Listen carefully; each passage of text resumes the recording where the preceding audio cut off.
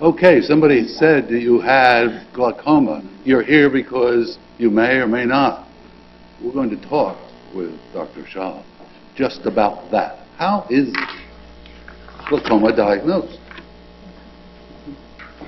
Hi, everybody. Uh, my name is Sonya Shah. I'm one of the physicians and glaucoma fellows over at Wills, and I wanted to talk about how glaucoma is diagnosed. Right here. There we go. We did it. Ah, all right. So this is tough because I know you guys have been here all day hearing about what glaucoma is, and you ask one of us, what is glaucoma? We don't actually really have a straight answer. There's a lot of different things that go into diagnosing glaucoma. So you might have a high eye pressure, but some people with normal, what we consider normal eye pressure, can still have glaucoma. What we normally look at, at is the nerve of the eye, which I'll show you a picture of later, how it connects the eye to the brain. And if that nerve is damaged, then we think, okay, maybe there's more likely that you have glaucoma.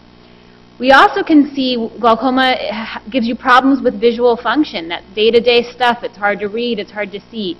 Uh, and or someone may have glaucoma just because we think you might develop any of this stuff, but you don't have it yet. So when you have a heart attack, God forbid, or you have asthma, you have symptoms. You can feel it. There's, there's pain. You can't breathe. But glaucoma, a lot of the time, you don't have symptoms. There's one kind of glaucoma, a glaucoma attack or closed angle glaucoma, where you can have severe pain or nausea or headache. But most of the time, there's really no symptoms at all, and someone has to tell you that you have it for you to really know. So here's Where's Waldo, right? And if you was looking at this picture, you would just kind of look at it and walk on unless you knew that you really had to look for him. And you find him all the way in there, and he's really hard to see, and he's all disguised. And that's kind of how glaucoma can be sometimes. You really have to know what to look for, and you have to be, be sure that your doctor is actually checking for the things that go along with glaucoma. A regular glasses check doesn't always check for glaucoma. So what are the things that we look at? So your pupils, they react to light. Someone shines a bright light, you kind of feel that feeling where your eyes are, are kind of strained. That's your pupils constricting. And the way that your pupils constrict can be a sign of glaucoma in one eye versus another. So let's say if in your, uh, let's say if uh, both eyes constrict to light, that's a good sign that both optic nerves are working well. But let's say you shine a light and in one of the eyes the, eye, the pupil doesn't constrict, it actually dilates. That might be a sign that the nerve of the eye is not working well. So that's the first thing that we look at in an exam. Now, as you all may have heard, glaucoma can affect your central vision or your peripheral vision. So what everyone can do, you can actually cover one eye and kind of just look and see, all right, well, I can't really see my finger. I'm looking straight ahead. But here's my finger. Now I can see it. And you can do it from the other way. You do it from the side. Okay, well, I can kind of see it here.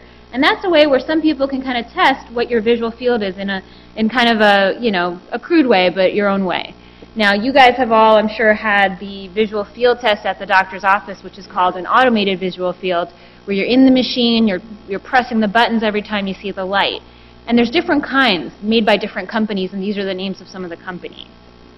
So you guys are, I'm sure you love this test. You're all excited to take it every time you come. It's not easy. I took it myself, and I, I did not like it. But you know, you're in the machine, and the machine is really trying to test which points can you see, which points can you not see, and that's much better than us kind of looking at our finger this way. So.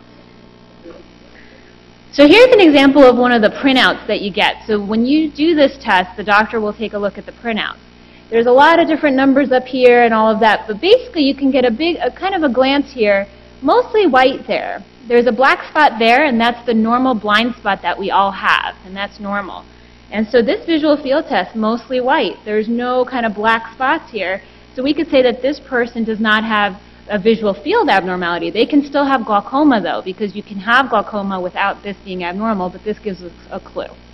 Now here's an example of someone who might have some points here. So you can see here there's some points that are abnormal. We see them on the different types of, these are all different calculations that are done.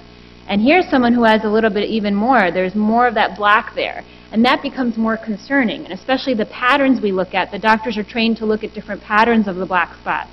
So this might be someone with some kind of early, more mild glaucoma, and that might be someone with more moderate glaucoma. Now this one doesn't look good at all, right? It's all blacked out.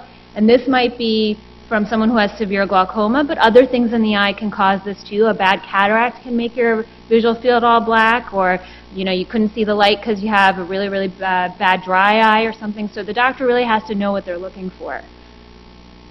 Now this is interesting too because this was the one patient's one eye and this was the patient's other eye. So you can have a really a big difference between the eyes as well.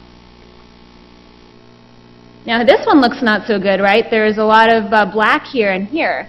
But your doctor has to be aware that there are different patterns, and this pattern is actually not consistent with glaucoma at all. This is actually someone who had a stroke, and a stroke in the back of the eye can make the visual field test look funny or look, uh, you know, abnormal in different ways. So uh, the doctor has to be, you know, kind of really looking at the patterns of the glaucoma.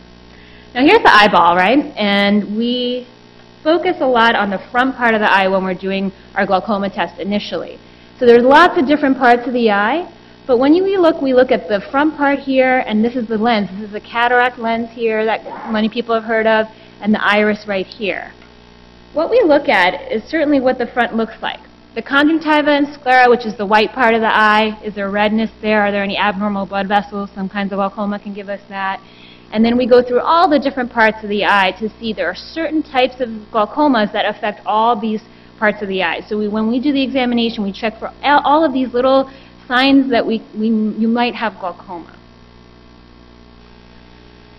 Going back here, now this is called the angle of the eye. So this is where the cornea, which is the front of the eye, meets the iris, which is the colored part of your eye. And you can see it looks like an angle. And that's the drain system of the eye. That's the gutter system. The fluid that gets made in the eye gets drained out here. So maybe some people have heard of narrow angles. And narrow angles is when this, this uh, angle isn't a nice V like this, but it might almost be closed shut. And that person may, may be at risk for an attack because that angle is too small to drain the fluid. And so that's why we look at something called gonioscopy. Gonioscopy is when we get up all in your business and we put this contact lens right up on your eye. Have you guys had that? It's not so comfortable. But what we're looking there is, this is to check, is the angle open? Is the gutter system of the eye draining the fluid like it should? When we put that contact lens on your eye, this is what we see. We can see different structures, these different black, brown and white stripes give us a clue as to whether or not the angle of the eye is open or closed. And that tells us, you know, open angle glaucoma, closed angle glaucoma. It gives us some clues into that. That lens has mirrors in it that can also show us other things like blood vessels. So some people with diabetes can develop blood vessels in the front of the eye that block off the angle and cause glaucoma or make you predisposed to get glaucoma. And so we check for all these things when we do that examination. Now, some people may have also, you've experienced where they come up and they kind of touch your eye with another instrument. This is measuring the thickness of your cornea, another way that we can diagnose glaucoma. We know that people with thinner corneas are at higher risk. And of course, pressure, right? Everyone has had the uh, blue light coming up close, and this helps us check the eye pressure. And we know, like I said before, that pressure is very important, and you guys all know that when we come in, we want to know what your pressure is, and we give you drops to lower the pressure. And it can vary, though. It's important to know that within a day, someone with glaucoma might have a pressure that's 10 points different in the morning and at night. And so it varies, and we just have to look at the trend over time. Um, but people with pressures kind of over 30, we are pretty sure we need to treat them, and under that, you know, we, we take it patient by patient to see who needs to be treated. Now, you may wonder what we look at. So you, this is what you're seeing. You're seeing this blue light coming close, and we see these, these lines in here, and we line them up, and then that's how we get the pressure reading. Here's also another pressure. This is a tono-pen pressure. A lot of you, if you've had the screening today, it's a little pen that taps the eye, and it's used a lot with uh, the vets. That's not my patient, just know. Okay, and then, you know, we have to look at the back of the eye. So we looked at the front, we looked at the angles, we did everything there, but it's very important to also look in the back of the eye. Usually this does require dilation drops, so when you're blurry for a couple hours, the people with narrow angles, we don't dilate them because it can increase their eye pressure. So if some of you have narrow angles, you may not have had this, but most people will dilate the eye and take a look at the back of the eye, and these are the different drops we use. And this is what we see when we look in the back of the eye when we're trying to diagnose glaucoma. This is the optic nerve that we're all talking about. This is kind of looking at it head on, and these are all the blood vessels, and this is the retina. So this is a pretty healthy looking eye, and we, uh, we try to compare our patient's eyes compared to what a normal looking eye would look. Now here's someone that looks pretty healthy, and I want you to notice, so this is the entire optic nerve. But you see this white little area here? That's called the cup. And then on this patient here, here's the outside, but then that cup's really big. And someone with glaucoma is more likely to have a bigger cup. So that's what we measure, we take pictures of, and we want to see if this is changing, then we know that someone may be more uh, likely to be developing glaucoma, unlike someone here who looks to have more of a smaller cup or a more healthy optic nerve. And then finally, this is a special picture that you guys, some of you may be having. It's called an OCT test. And this kind of helps us, it's more, it's more like an advanced picture of what we, what we just saw.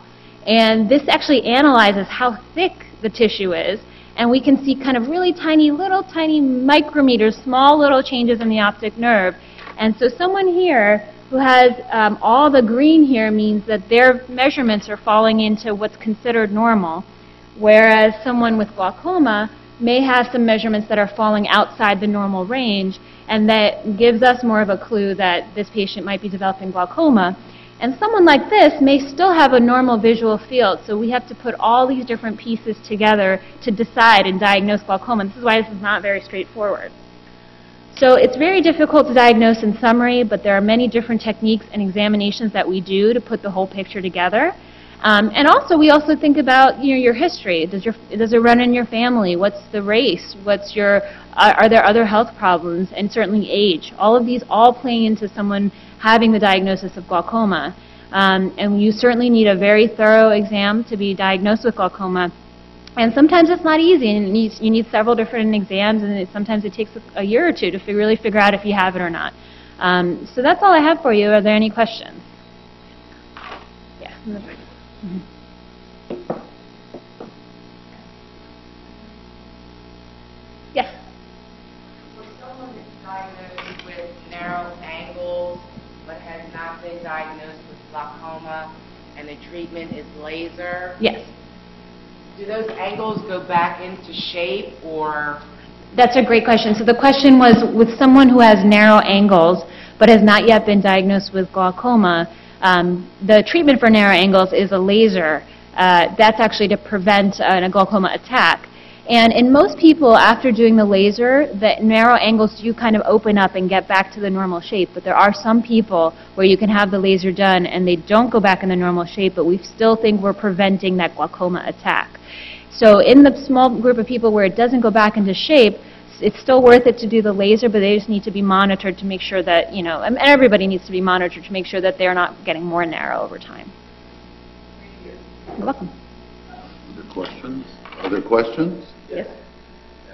Would the, after the laser treatment, the, uh, the, uh, hole get narrow again and require another? Good question. Uh, When we do that laser, the question was, does the hole close up after you do the iris uh, iridotomy? It's called the hole in the iris. In most people, it does stay open, but there's some group of people, kind of like the other group, that where that hole wants to close back up again because you're a great healer. Uh, your body is kind of trying to heal up what we did to it. And so in some people, we do have to repeat that over time to open up the hole again. Var- It varies, and some people can close up within a few weeks, and some people, 10 years later, they need it redone. It's very different. Sure. No other questions? Thank you. Thank you very much. Thank you.